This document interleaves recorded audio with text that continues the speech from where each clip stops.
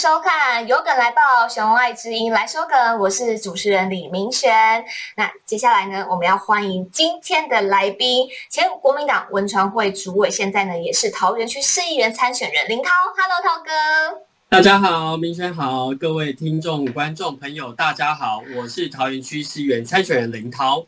我看到林涛今天在新闻上，作为一个四岁小孩子的爸爸，在最近呢，苏贞昌说要办郭彦军，很多孩子走了，这一句话明明就是一句实话，可是苏贞昌却说这是一句不实的谣言，还说要就责查办。而且那一天呢，陈时中还讲说这句话，这件事情就是一个假讯息，要罚三百万元。所以涛哥呢，马上就召集了党内的好朋友，在今天上午的时候前往自首投案。真的是炸锅哎！因为身为我们我们家里都有小朋友，而且我们我们就觉得说，每一天都是指挥中心在报小孩子，嗯。我们很难过，就小孩子死亡的数据跟重症的数据，那每一天这个数据都是我们提供的，这事实摆在眼前啊！全台湾的家长都很焦虑，都非常焦虑。今天看到郭彦军他在他的脸书写说很多小孩走了，嗯，其实就让我们心中也觉得说是不是？像我家中小孩是四岁嘛，嗯，那我们四岁小孩零到五岁还没打疫苗，那我们怎么样面对他防疫的准备？如果真的真的不幸染疫了，他要怎么样准备？这是所有全台湾的家长都焦虑的事情啊！而且死亡跟重症的病例都在那边，哪一句话哪一个字是假消息？嗯，所以我们我们其实跟呃，我有打给民选嘛，然后鼎超、采薇、维园。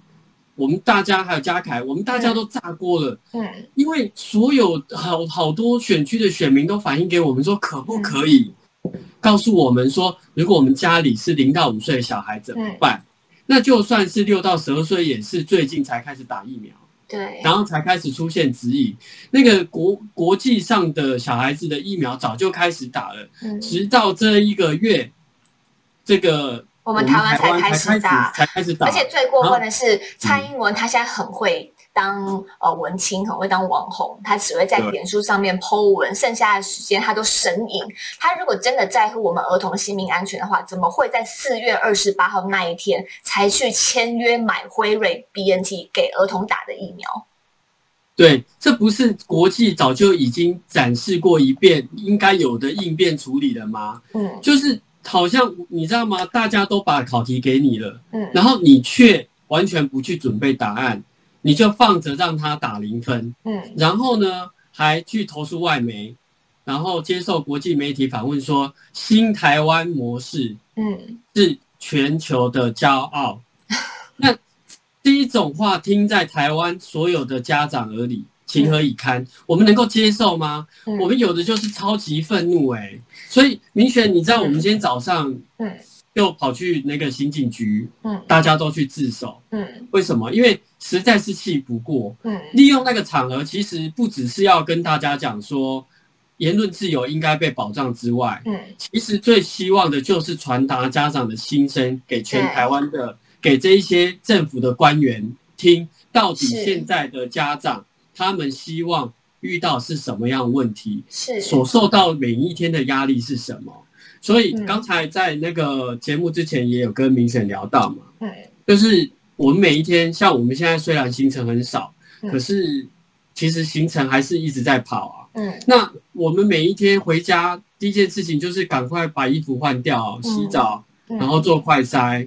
然后你知道吗？你是天天做快筛的吗？我是。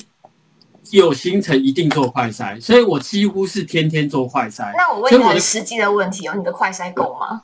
我的我我的快餐，我之前有我之前有一直，因为我的家人他们去买，可是他们不一定有出去上班，或是呃有有出去，就是把他的扣打给你用，先先借给我用，因为真的没有办法，我如果回来就是跑完行程回到家里。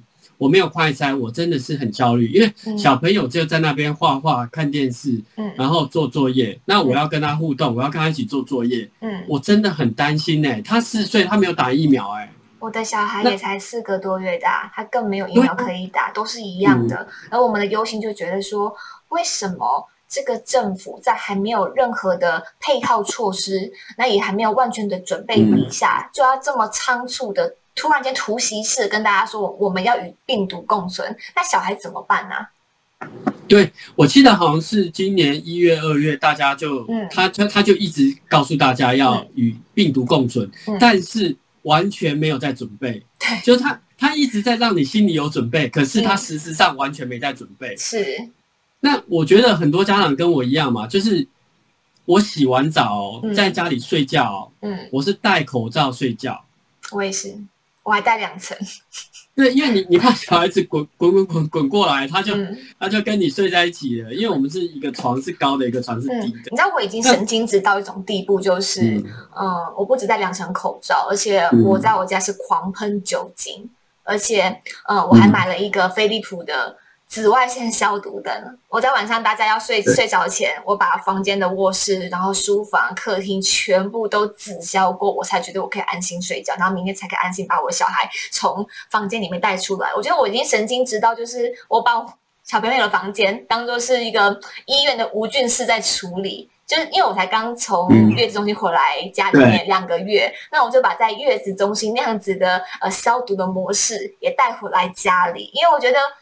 我我自己可以做到，我现在尽量都不要出门，我把我所有的节目都在呃我的家里面的书房里面做。可是我的其他家人他们有要工作的啊，他们也要出门的啊，那那真的没有办法。那包含你自己也是一样。之前你说疫情还没有这么严重的时候，还可以天天有各种行程可以跑，那尽量现在呢都是尽量的可以减少就减少，但是还是有那么个万一，我们都承受不起啊。对，我觉得，我觉得。民权当然是就是防疫防疫的动作做的最最踏实的，但我觉得那个焦虑感是全台湾的家长都很焦虑，嗯，真的很焦虑，因为你看哦，我所以我所以我们完全不了解说前几天就是那个苏贞昌跟陈时中在讲到小朋友的问题的时候，嗯，那一种好像是怎么会把小朋友的重症跟死亡病例讲的好像只是。数字上的小数点我找到这张图，这个时间呢是在四月二十一号的时候给大家看一下。好，这张图呢是记者在询问陈时中部长说：“陈部长，我们五岁以下小朋友的备药有没有准备好啊？因为呃，你说要打疫苗的话，只有六到十一岁耶，那五岁以下呢有没有任何准备呢？”结果陈时中竟然呵呵笑，他竟然笑得出来，然后竟然笑，对，他还说小孩子要自己注意啊，嗯。怎么会有这么无情冷血的官员呢？你还你还是我们的中央疫情中心的指挥官呢？结果他指挥了什么？就叫大家自主应变，然后跟你说啊，你小孩你自己的小孩你要自自己处理啊。然后大学生的染疫之后，在他的宿舍当中没有人可以照顾他。然后陈松也讲啊，你都已经大学生了，要把自己照顾好。那我们要干嘛啊？等等，然后大家问到说小孩子的染疫数字怎么这么高？他说我不知道有这么多的 case，就是就是对孩子是毫无有，我就觉得说基本的同理心是应该也会让你阻止你讲出这样的话吧？嗯，能够接受吗？没办法接受。他是打从心里面的觉得这个没有什么哎。你们在在担心什么啊？而且他觉得说，我们的台湾防疫呢，我们还现在还是还是优等生，我们控制得宜。每天的数字，他跟我们大家说控制得宜。我觉得他已经习惯性的大内宣了，习惯性的告诉大家假象。而当大家要去质疑这个政府的时候，就习惯性的说你这是假讯息，你这是造谣，所以你要罚三百万。像我们的政府就是这个样子哎。我觉得他已经就是你知道吗？他已经完全没有去想说，对他来讲这可能是小数点，可是对每一个家长来讲，一个小朋友是百分之一百嘞。那个一个小孩子有什么样风吹草动或有什么样染疫的状况，那真的是心疼到不行哎，对，很心痛哎。所以你看，像呃，大概在一个半月前，嗯，我我的小朋友的幼儿园，嗯，就开始，哎，今天突然有哪一个同学没来了。他就回来回家讲，我今天我的同学谁谁谁没来，过几天另外一个同学又没来了。那那他在过程中都没有没有那个停课吗？对，后后来是后来是就完全在这过程中，其实整个都没有通知，嗯嗯，就是嗯染疫的状况呢，他是请假啊，还是什么状况都没有通知。后来我们就哦觉得实在是疫情太严重这，大概是呃几号的事情？大概是一个月一个月前，就是疫情爆发的刚开始，就是大爆发的拉高的那一个，哦，那那就是四月中中下旬那个时候。对，然后我嗯。们后来决定说，呃，就不让他去学校，因为嗯，实在是太危险了。这是因为家们的自主应变。对自主应变，然后家里因为还有还有另外一个就是嗯。我老婆的妹妹的小孩在家里，哦那我们自己的小孩我们自己负责，但是如果他带回来染疫给其他的小朋友，嗯或是大家在家里的那种年纪比较高的长辈嘞，哦，真的承受不起。这承受不起啊！就自己的小朋友已经很痛，然后你又影响到别人，嗯这是所有家长的状况嘛？是那今天是因为呃，我的爸爸妈妈或我的岳父岳母家人可以帮忙看一下小孩。嗯可是如果是一般的家庭，他要上班，请问小孩子在学校担心染疫，嗯学校如果停课回到家里，或是自主应变停课嗯回到家里，小孩子谁要带？是这都是问题呀、完全都没有配套哎、嗯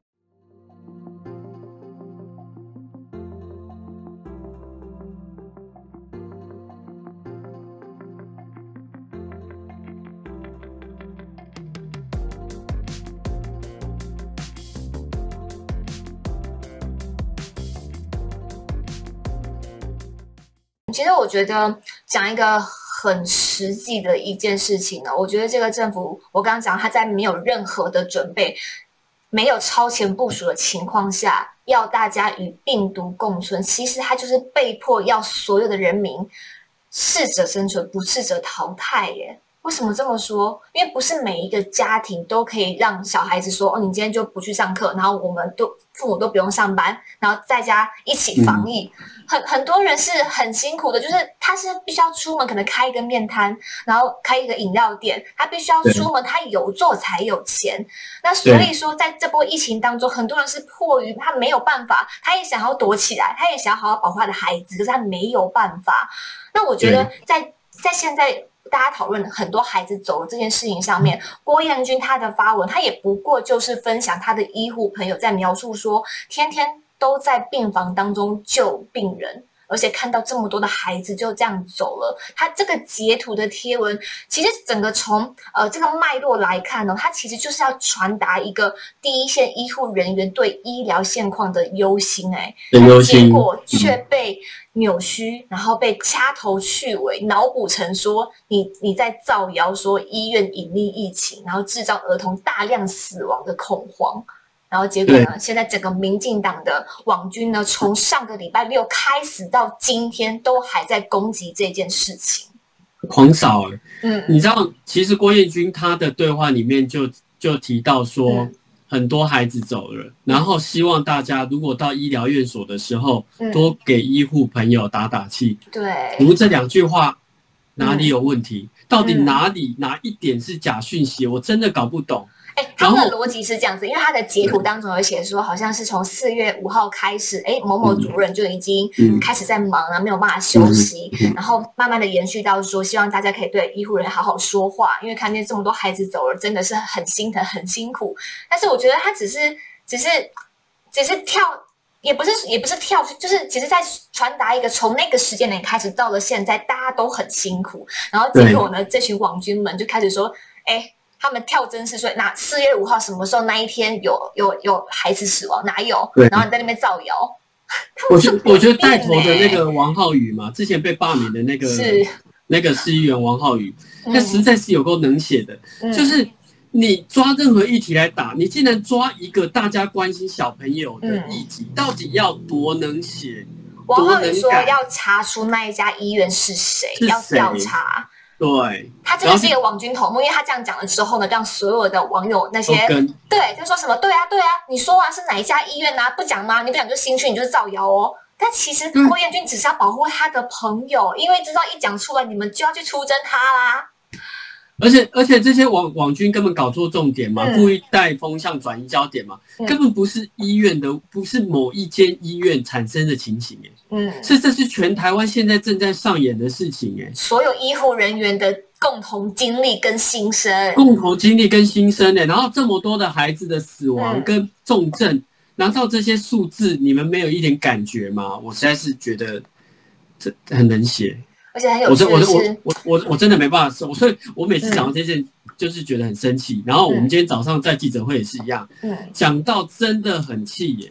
你想说苏贞昌竟然要办平那我们这些平民老百姓，他竟然不敢查自家的网军呢、对，我是我我就我就说现在台湾啊，嗯小孩子如果染疫，很有可能会致命，因为台湾没有做好所有孩子的配套嘛，对，从疫苗到重症到就医嗯都没有做好完整的配套。嗯然后大人呢讲中讲真话就会被抓起来，嗯因为你看，只是一个讲出全台湾很多孩子走了这样子的一件事实，苏贞昌没有去查嗯。这些打压民众发生的塔利班网军。嗯。竟然可以直接用公权力去恐吓一个民众，而且他是他是真名哦，他用他的真名，他不是那种躲在那种假名后面的那种塔利班或是网军或侧翼嗯。或是假账号，他是是真人，嗯。然后描述真的情形，然后他竟然要用公权力说我要叫刑事警察局去侦办，是，然后我们的陈时中指挥官竟然马上跟着说，对，这是假讯息。嗯如果再造成全台湾的恐慌，嗯，那一定要罚三百万。其实他们的心态就是不想要让呃，就是死亡人数成为大家讨论的重点，他想要他想要模糊焦点，希望大家忘记这件事情。对，我看到这张图是王宏威议员做的，他说千万别抬头，给大家看一下。绿军出征，寸草不生。上次是什么？是呃徐小可跟阿 Ben 这一对艺人夫妻。哎，其实他们你这样回想起来，他们讲的一点没有错啊。嗯陈世忠一直在冷笑为啊，哎，对结果讲出这一句话也被出征的很惨，到最后也是删文道歉，然后还开直播，连续两三天跟他说不好意思，造成他的困扰。然后再上次什么？哎，我们常常在看的 Netflix 的这个平台，哎，小编也只是讲出一个实话啊，快筛事情就是真的在排队啊，对啊，结果也是被骂到要要道歉，然后还说我们要深自检讨。结果最近呢，郭彦军这个艺人也是一样，只不过是讲出一个实话。现在就真的台湾的死亡人数每一天都在飙高，一直在创新高。我们现在在呃，因为我节目是预录的，那这个预录的当下，今天礼拜天，那今天的死亡人数又飙高了，一百四十几例，昨天还一百二十六例，每天都越来越高。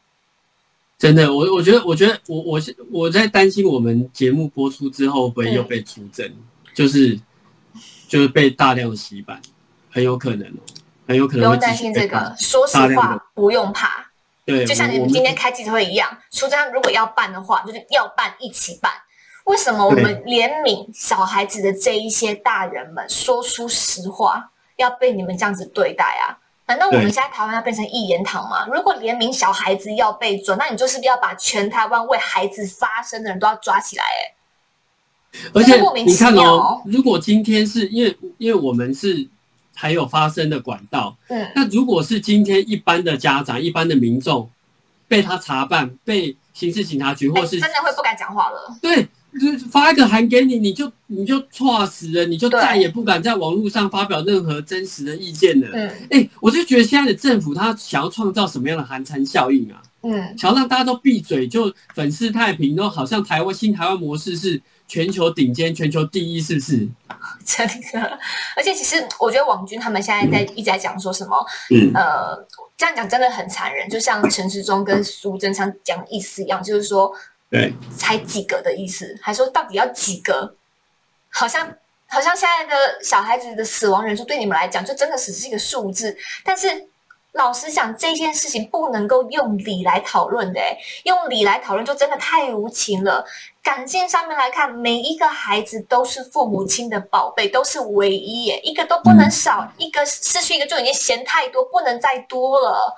而且很多孩子走了，现在有句网友讲的很好啊，八十岁的父母失去六十岁的孩子，六十岁的父母失去了四十岁的孩子，四十岁的父母失去了二十岁的孩子。每个都是孩子啊，每个人都有爸爸妈妈啊。对啊，每个都是家人啊，嗯，然后每个都亲朋好友都在啊。对，失去孩子、失去家人，对一个家庭来说，绝对不是一个小事、欸，那是一辈子都过不去的伤痛。所以我要讲苏贞昌院长，如果你没有办法去体会失去孩子的痛、失去家人的痛的话，那你是不是也应该要有一点同理心，去体贴正在经历这些痛的家庭？我觉得这是身为人该有的人性。而且我我说真的，嗯以假设以一个感情的面，或是以一个就是说，先不要以数字，不要用理性来想，这嗯本来就是每一个生命，就是大家亲朋好友都是家人，都是爸爸妈妈，都是小孩子，嗯。那种是破坏一个家庭耶，一个是。过世就是破坏一个家庭耶。那如果你要说数字的话，嗯。那以现在我们在预录这时候的数字来讲嗯，为什么我们台湾的儿童的数字会是日本的十倍，会是韩国的八倍，然后新加坡是零对，零，就是这现在时候是零孩子死亡，同样都因为人家是海岛疫苗做国家耶、的早嘛，嗯。对啊，我觉得到了今天哦，我觉得民进党这些官员他还没有办法去，呃，他完全不懂说我们所有的老百姓天天都是活在害怕失去孩子、失去家人的那种恐惧当中。对，说实话，真的不需要道歉，是这个政府才需要向全民道歉。为什么一个政府防疫会做到失控啊？而且完全没有超前部署，结果我们现在连监督的权利都没有。我们讲出实话就要被恐吓、被法办，然后还要被网军围剿，然后你们这些高官却放任这些恶毒的侧翼到处攻击人，结果现在竟然连我们的政府都在带头出征人民欸我真的觉得这个政府好恶心哦。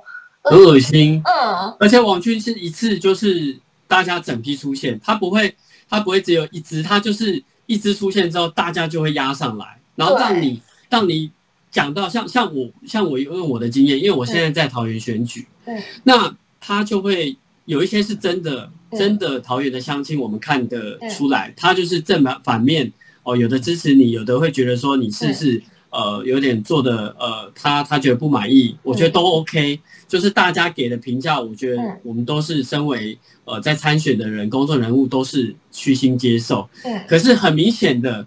有一些就是网军的账号，他的头像是很奇怪，他也没有任何发文，那也没他就跟你有朋友，对，他就恐吓你，他就说我不投你了啦，我不投你了啦，你你怎么会讲出这种话嘞？然后不投你了，你每天都要骂政府，哎、你有没有难发现道政府这些网军他在做一件事情，就是反串，反串是你的那个追踪者，然后还对讲说什么，我已经观察你很久了，我以前还很喜欢你，现在我觉得你不 OK，我不要投你。对对对对，我原本是深蓝的支持者，我原本是蓝营的支持者，然后我我本来是投谁，然后我现在觉得说你根本就是乱骂什么的，嗯，哎请问我们为孩子发声，然后希望保障大家的言论自由，嗯。这哪里是乱骂？所以现在我们在录的时候，有一份网络线上的民调嘛，嗯嗯嗯。就在讲说，到底去针对苏贞昌用公权力恐吓民众，嗯。哦，然后去刑警局或是替民众发声，嗯。这个举动是政治的做法，还是真正有监督到政府？嗯就是说有替人民发声呐、嗯你知道吗？那个悬殊的差距，投投不认同的大概是两千多票，目前，嗯，然后认同大家去监督苏贞昌的高达五万多票。所以那个这个比例同意的就是九十七、九十八喽。九十七，对，就你就可以看出，你看早上这个数据是就是针对我们今天早上去刑事警察局之后，嗯包括呃我们几位台北市、呃新北市跟桃园市的市议员参选人，嗯。然后用把选区的声音，然后把家里的声音，把家长的声音传达之外，然后我们立院党团也也有书记长。很多立法委员，包括像嗯。万美玲立法委员，他是长期关心教育的，他就把很多的教育现场、很多教育的状况发发生嘛。像之前我记得他就提到说，因为呃桃园它很多国小都是超级大大校，嗯然后像中山国小它就三千多个人，那很多的包括很多国中它也是人很多，那嗯等于就像那个民选一样，你现在要身兼导播，然后要 要要身兼就是妈妈的角色，然后又有很多的角色。你知道现在的辅导主任嗯，几乎都要身兼很多角色。他要去拿排队拿快筛，然后他要去发放，然后他要去造册，然后他要去资讯的通知，然后他自己还是。呃，也担心自己的状况，自己回去家人去去领一些去领一些快餐的用品，然后去一些医疗场所，他自己也会怕啊。那每一个人都身兼多职的状况下，压力真的很大耶。是我们的我你你看，像那个之前不在讲美国跟英国，嗯，其实像快筛就直接用宅配到家的服务就好，针对一些。家庭，然后针对一些小朋友，或针对一些中低收入的家庭，你就用宅配的就好了。其实我最近一直在想一个问题，我觉得你要提到这个快筛，其实之前在炒快筛的价格这么高，到现在也还没有降下来啊。那快筛本来就是应该要便宜，然后要易取得。那我想说，为什么都没有办法直接做？呃，就是投币式的那个贩卖机，就直接在路上看到就可以买，跟买饮料一样方便啊。结果我们现在都是要。人力，然后要去要去排，然后要去每人是要去全年这样自己买，然后增加人与人之间的接触。但是明明就有一些更便利，而且让人民呃可以用少少的钱就可以买到的方式，可是这个政府就是一定要定在那个价格。然后，而且呢，现在被骂到说，哎，你可以国外自己买啦，一个人的扣打有一百支的上限嘛。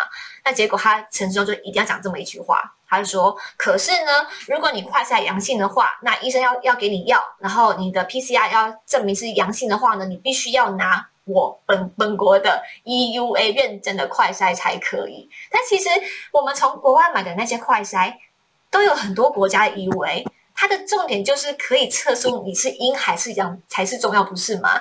但是这个政府它就是要透过这样子的方式去保障他们自己人的快筛市场，对，继续要赚钱呢。他没有要给大家方便啊，他要给自己方便的意思。是，而且把很多的事情，就是简单的事情，把它复杂化，哎，似乎好像就可以有个空间，可以让他们的自己人赚饱饱哦。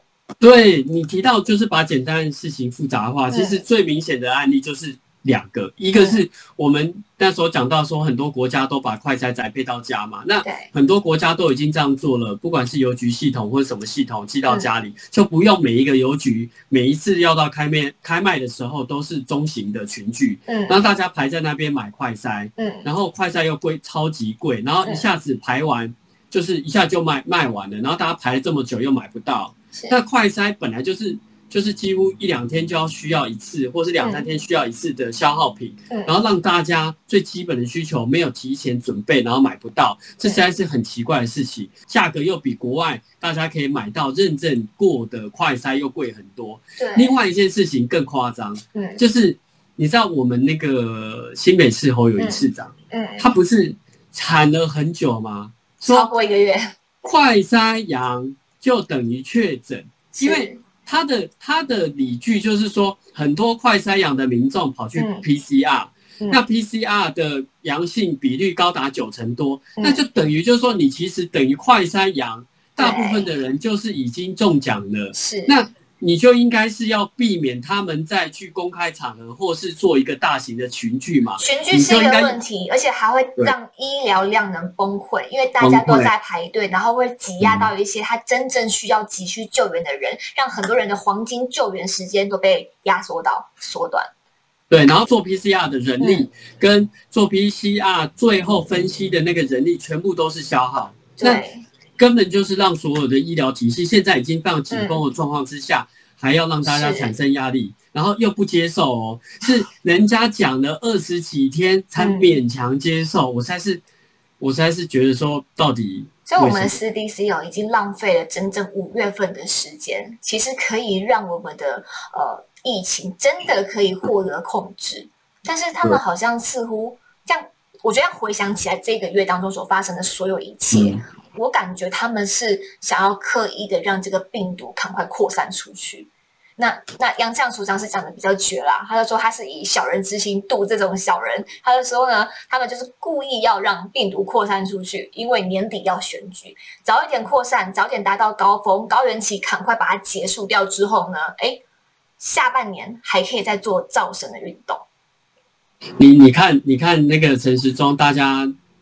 大家网友不是在讲吗？他他已经急着要去选举了，所以赶快要把整个疫情做就是那个确诊率拉高，赶快来做一个与病毒共存，他才可以赶快去选举嘛。嗯，那如果你没有心坐在那边，你就赶快请辞吧。你现在请辞就跑去选举了，你干嘛坐在那边，然后什么事都不做，然后每天在在那边讲一些完全没有配套的做法，是，然后讲一些废话，然后所有的家长在家焦虑了半死。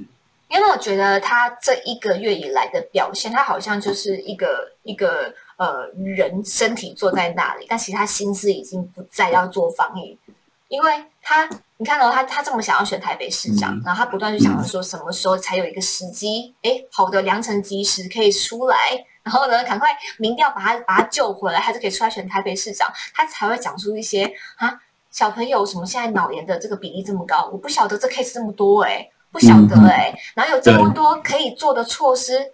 这这么多的专家、地方指挥官们都在跟呃陈世忠做建议，他都要想很久，然后是说，嗯，这个涉及专业，我们要再来讨论一下。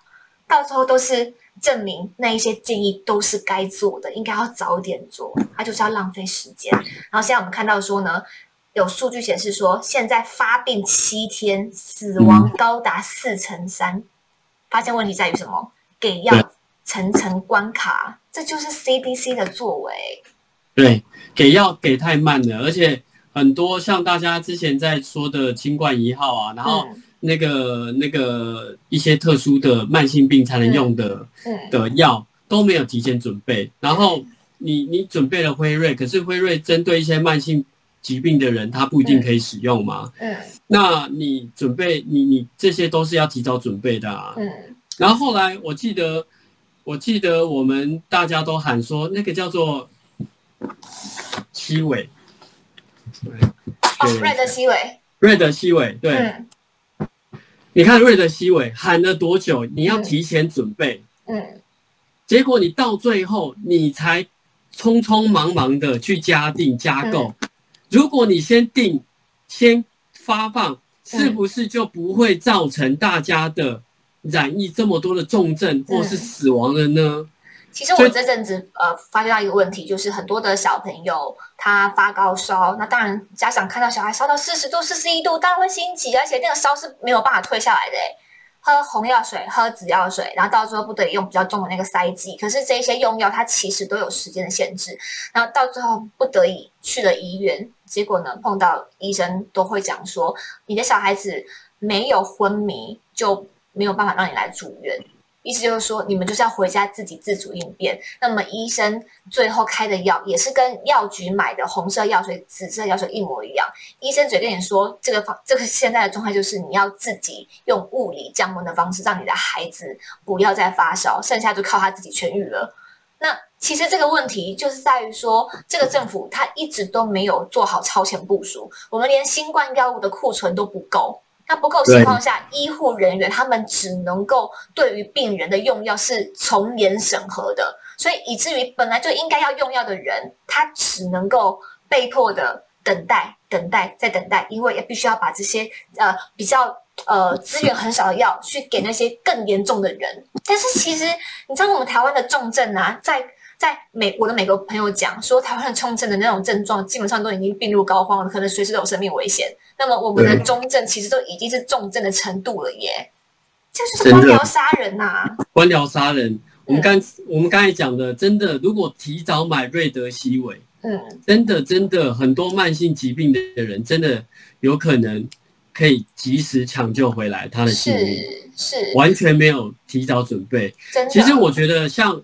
这这几天有很多的家长私讯我啊，他会讲说，就是他他有看到我们这几天在帮那个郭彦军发声嘛，嗯，他们说真的谢谢你们帮家所有家长发声，嗯嗯，因为刚才讲到家那个小孩的医疗配套的问题嘛，另外一个就是你知道大家都在想说，嗯，现在大家都小孩子在家里。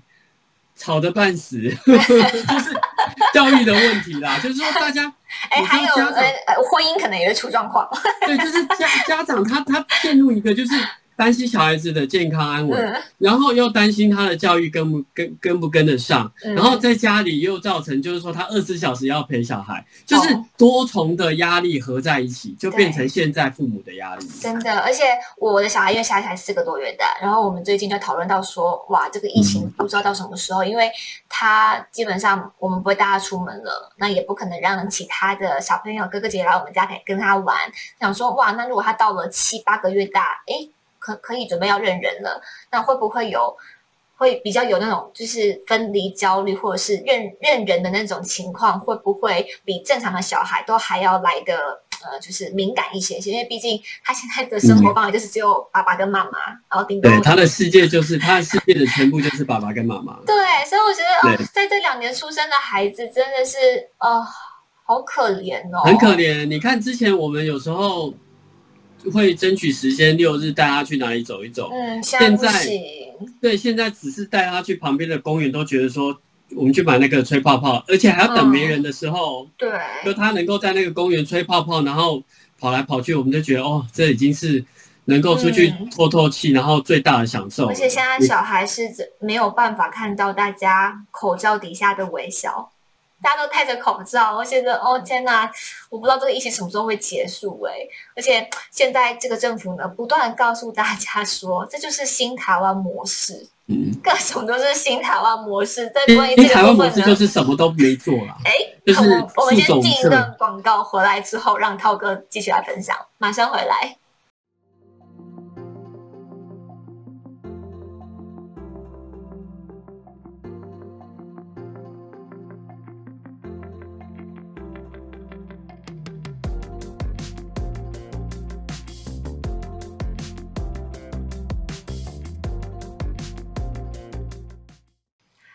欢迎回到弦外之音来说梗，我是主持人李明璇。哎，我怎么突然间衣服都换了，然后画画面也变亮，从晚上到了白天。我们前面一段呢，跟林涛有将近三十六分钟的连线之后。嗯，不小心在收音的部分出了一些问题，所以我们只好忍痛放弃最后一段跟他的连线画面。这边呢也特别跟林涛说声抱歉啦，因为现在在疫情当中呢没有办法，我们只能够做呃远端的连线。那么也是让我们有个来报的观众朋友可以有一些视觉新的新鲜感跟刺激。呃，我们希望这个疫情可以赶快的呃得到真正的控制得宜。啊，陈志忠说控制得宜嘛，但是目前看起来还是很严重的状态，不晓得这个高原期会呃持续多久。我们希望呢，疫情赶快赶快过去，那我们可以赶快回到呃摄影棚内，那把邀来宾邀请到我们棚内来，然后同时呢，也期待可以开直播的那一天哦，因为现在呢，我们都是用预录的方式，那么直播的话呢，就可以直接在线上跟大家互动啦。好，那我们刚刚讲到哪里呢？讲到现在呢，呃，民进党说新台湾模式。那么我们现在在做节目的时候，确实也是新台湾模式啊，因为碰到了疫情，现在难免都是这个样子。但是呢，民进党有他们诡辩的新台湾模式。现在呢，是谁质疑的这个政府？这个政府就要法办谁的新台湾模式？这两年多来，应该常常看见吧？这个政府只要发现有监督的声音越大，就会说这是假消息，要罚办，要罚三百万。两年前中天被关台，这两年多以来，多少人在脸书上面发的言都会被网军出征。我们在上一次，我看这张图哦，这张。上次呢是艺人徐小可跟阿 Ben 他们开了直播，那么就跟大家讲说呢，奇怪，陈世忠他就是在冷笑诶，这么多的家长看见这个政府对于小朋友的上学的政策说变就变，搞得非常的乱，那也不过是讲出很多家长的心声，但没有想到陈时中就直接说就被批评说呢，他们这样讲。是完全不对的，结果就被一堆网军出征，到最后隔天马上又开了直播要跟大家道歉。徐小可还在哭啊！在上一次呢，Netflix 他不过就是在他们的粉砖上面，呃，贴文说呢，你看快筛试剂从早上七点开始排队，然后后面永远排不到的我，就是用用一个图的方式，然后来暗讽说。台湾的快筛缺货，然后大家都要排队买快筛，结果也是惨遭洗版啊！然后还被一堆那些呃网军们，还有一些嗯侧翼们，直接的公开说哦，扬言要退订。哎，如果连全世界最大的影音平台都低头。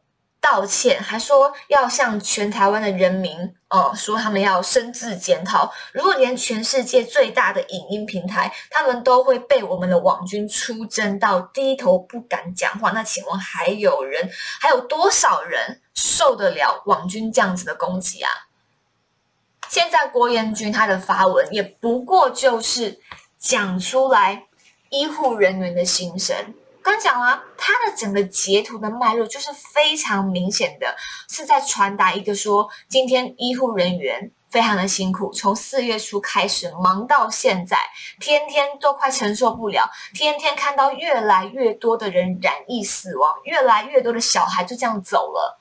希望大家可以善待医护人员，体谅他们的辛苦，讲出这样子的实话也要被出征，讲出实话就要被苏贞昌。亲自由政府带头来出征，而且陈时中在那一天还直接紧接着苏贞昌院长所说的话，说假消息造谣要罚三百万元。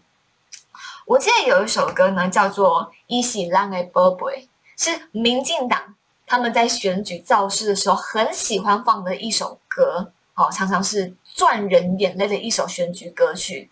但是我觉得非常讽刺的是。今天选前你是我们民进党的宝贝，选后之后就开始诡辩说，请问要十几个才算多啊？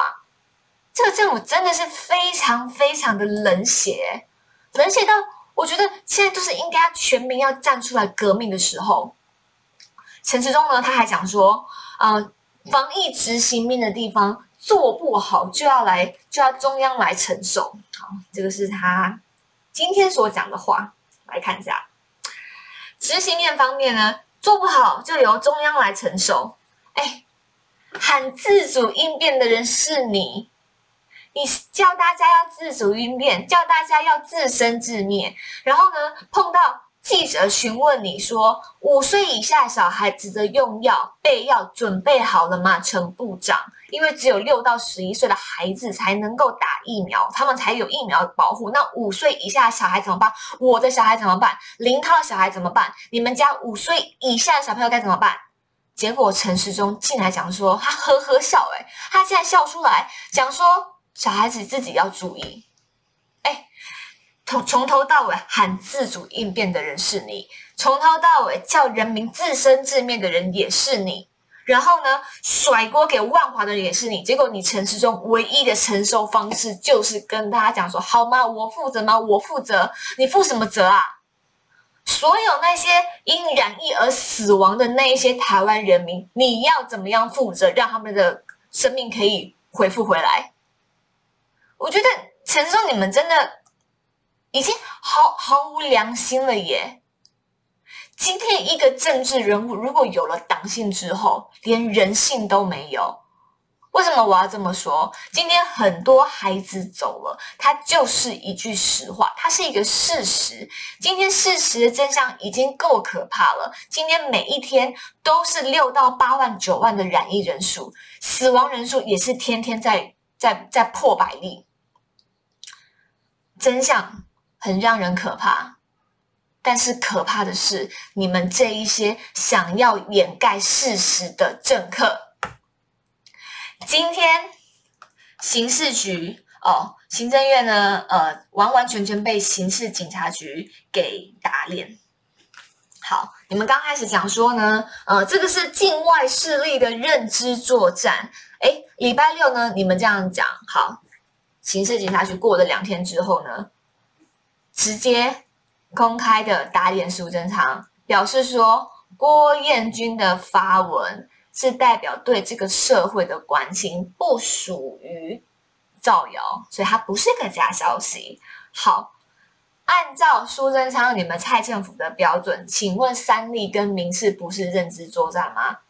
当被刑事局打脸的时候，他们就开始转出真人的那种策略，就还想说没有没有，我们我们我们没有说，我们没有说郭彦军哦是是造谣啊，也没有说要办那个要要去查郭彦军，都是内容农场的错，就开始把它导向内容农场。哎，但是你三立跟民事是你们率先转贴新闻的，五月二十五号。郭彦军发文说很多孩子走了，但是二十五号的那天白天，三立新闻是率先转贴新闻，然后到二十五号的下午，哦，你们就开始说呢，有十九个农场粉砖来转贴新闻。如果你们这么想要诡辩、想要应变的话，那那我们就来认真讲这个时间呐。当这一群绿色的网军，他们自以为抓到了失利点，认为说郭彦军的截图跟医护人员朋友的那个截图说。某某主任在四月五号开始开始忙，忙到现在快快承受不住了。那请问四月五号到底有哪个孩子死亡？第一例者是从四月中旬才开始的，他们就这样子应变。好，那我们就来变啊！二十五号凌晨郭彦军发文，但是在内容农场还没有转发的时候，三立跟民事就已经率先转贴新闻了。请问你行政院为什么现在你你怕了？因为现在呢，民意的潮水想要要淹过你了。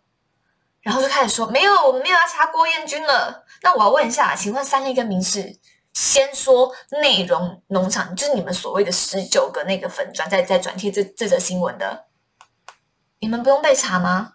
你们不用被法办吗？你们不用罚三百万吧？现在的新台湾模式呢，就是谁要监督政府，谁说出实话，谁质疑了蔡政府就要被罚。这是新的台湾模式。儿童的染疫问题到底严不严重？今天我们每一个人都很清楚。今天很多孩子走了，郭彦军讲出实话的这一件事件，为什么引发这么多家长，甚至是引发这么多台湾人的众怒？已经不分蓝绿了，诶因为生命的安全跟我们每一个人都相关。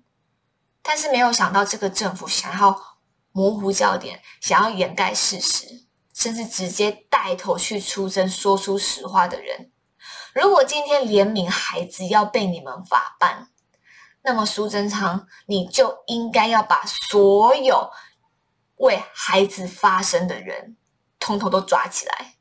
从上个礼拜六到今天，事情一直在发酵当中，有不止。上千已经有上万的网友们在网络上面转贴很多孩子走。苏贞昌院长，每一个转贴，每一个打这一句话的，你都要办吗？今天每个人所痛心、所愤怒的，就是我们是言论自由，一直在号称我们言论自由非常非常好的一个国家，这算什么民主自由啊？这算什么民主进步啊？今天讲出实话就要被你们法办，结果这个政府对于现在这样子的疫情失控到这种地步，还在狡辩，从头到尾从来都没有想要认错过。从四月开始，本土的疫情爆发到现在已经五月底了，这个政府始终没有出来道歉过。很多的补救措施，各个县市的地方指挥官也有非常多的专家都在讲说，给很多的建议，但是这个政府始终就是不听。然后呢，现在蔡政府说六都要设大型接种站，说要为了要嗯，就是要米平大家的民怨嘛，他们想要证明说有啊，我们有在做事啊。蔡英文到四月二十八号才想到说要帮我们的小孩子买辉瑞 B N T 的疫苗，四月二十八号才签约，他还可以大言不惭跟大家讲说，儿童的安全是他心里所在乎的事情。然后他到上个礼拜，就是这几天哦，他才发文讲说，他看见很多家长的焦虑，看见很多家长的忧心。事情都已经过了一个多月了，多少的小孩子在这一次的疫情当中去当小天使了？你蔡英文总统，你身为总统的人，你现在才发现家长们的忧心吗？结果你们为了要米平民怨，然后出了这个白痴的政策，六都设儿行儿童的大型接种站，哎，你知道问题很多吗？现在问题是很多的家长在安排预约去诊所啊，去学校里面施打。那请问你设这个大型接种站的目的在哪里啊？而且你设了大型接种站，到了现场都是一堆人，小孩子去，那不是又要造成互相的交叉感染吗？而且，到底蔡政府，你到底有没有听到医护人员的心声啊？你在建立这种大型的接种站，你？你都没有考虑到地方基层医护人员他们的工作量吗？今天侯友谊市长不断的努力提高居家照护的比例，已经超过百分之四十了。在四月底五月初的时候，他就已经提供献策给蔡政府，希望中央可以好好的推行到地方去。快筛阳视同确诊，也是喊了一个半月，到了这个礼拜。才真正的将快筛阳视为确诊。为什么这个很重要？因为快筛阳性后来跟 PCR 阳性的比例已经高达百分之九十七以上都是吻合的，代表说我们现在用快筛，如果出现是阳性的话，那么你去了 PCR 的阳性的几率有百分之七九十七以上都是会是阳性的。那如果我们早点可以把快筛阳视为确诊的话，就不会有一堆人测到了快筛阳性之后，全部都冲去急诊室，为了只是要先等到能够 PCR 而已。有一堆的人确诊之后，他可能已经很严重，已经中症了。需要得到积极的医疗救治，就是因为这个烂政策，这个政府始终没有正视问题的重心核心在哪里，让一堆人挤破头去了医院急诊室，然后累坏了医护，然后也让非常多的人错失他们的黄金救援时间。这是我们的蔡政府的德政啊！他还真的认为那是他的德政呢？你们去看看蔡英文总统每天的发文。好像活在平行时空当中，到了现在已经五月三十一号了，他还在活在他的元宇宙当中，还没有回来。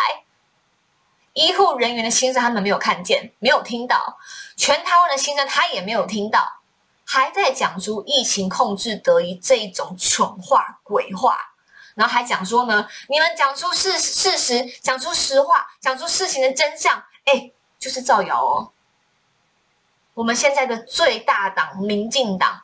还要抓造谣哎，他们自己可以造谣，别人不可以说真话哎，这真的不愧是我们绿色权威的蔡英文大政府。最好笑的就是，他们每一次造谣完之后，就开始转移话题，装没事。我再讲一次，很多孩子走了，很多老人也走了，很多年轻人也走了，哪一句话不是事实？请问书真上哪一句话不是事实？陈时中，你还要罚三百万吗？这三句话，我也问蔡英文总统，请问你没有看见吗？到了今天，你们还没有为了你们造成现在台湾疫情失控来向全民道歉。说实话，我们不需要道歉，该道歉的人是你蔡英文总统。是你们所有蔡政府的官员最应该向全民来道歉。为什么一场疫情，你们说超前部署可以让疫情失控到这种地步？从年初开始，大家都在建议说，你们确定不要好好的控管一下入境的状况吗？入境的人数不断的在攀升当中，你们放毒诶在没有任何的万全准备底下，你有跟医护人员沟通过吗？你们突然间发现说，哦，这个染疫人数可能会陆续增加，就开始跟大家讲说，哎，我告诉你哦，国外都是这个样子的，我们要与病毒共存。共存什么啊？你连快筛都没有准备好，连新冠药物的的库存都没有，都没有准备好，连医护人员他们的医疗量能。有没有盘点好都没有，就叫这些医护人员人员赤手空拳直接上战场，辛苦的是医护人员，更辛苦的是台湾染疫确诊的患者。现在有非常多的人把这些怒气发在医护人员身上，生气说：“为什么排队排这么久？为什么我的孩子等了这么久？你们只告诉我说，请你回家自主应变。当然，医生不是这样讲，医生是说，请你回家用物理降温的方式，想办法让你的孩子不要再继续高烧。然后结果顶多拿了一个在药局可以买到的红色药水，没有其他的了。”所有的孩子发烧到四十度以上的时候，见到医生，哎，等了好几个小时哦，终于看到医生的时候，医生就就只说那么那么一句话：每个孩子都是高烧四十度以上。你的孩子如果没有昏迷，我们没有办法让他住院，因为也没有病房让他住。结果陈时中竟然还可以讲这种话，说空床率百分之五十，医生都说了，没有病床可以收。所以今天你的孩子没有昏迷，没有生命危险，没有下一刻可能立刻就会休克的情况下，就请你回家自自主应变。就是因为这个政府错误的政策、错误的制度，只能够让这些医护人员们被迫对于所有的患者，只能够说。除非你下一刻你就要休克，我才能够救你。剩下的就是你就好好照现在的制度吧，因为必必须要 PCR，不然我没有办法证明你是确诊，我没有办法给你药物。然后当你需要药物的时候呢，医生说不好意思，我们用药只能够从严审核，因为我们药也不够，只能给只能够给那些重症的人。那你是轻症的，不好意思你就回家吧，自己买普拿疼，自己去药局买成药吧。结果我们大家去药局买成药的时候，发现都缺货。五月上旬，每一个人要去买普拿疼都用抢的，然后买小朋友的退烧药也是用抢的。在大台北地地区人多的地方，很多药局都是缺货。后来陆续蔓延，随着疫情蔓延到中南部，连在高雄，我人在高雄，我跑了好几间的药局都买不到。我就要问，请问这个政府，你让我们大家自主应变，这样子的状况，我们要怎么自主应变呢？这个政府就是这个样子哎！我再说一次，今天很多孩子走了，就是一个事实。请这个政府好好正视真相，好好的做补救措施，不要再每天带着你的绿色滤镜看所有的事情。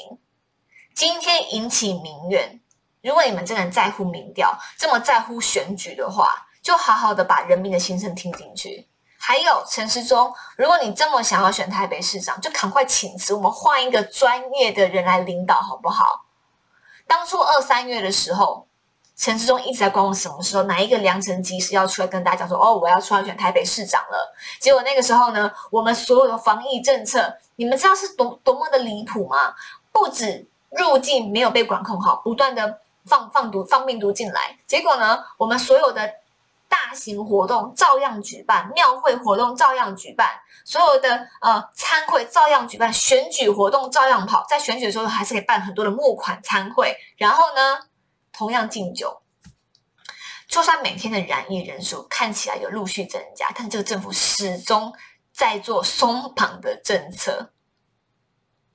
结果呢，他们洗脑台湾人的模式是什么？就说国外的趋势都是这个样子。大家都是要与病毒共存，是啊，大方向是这个样子啊。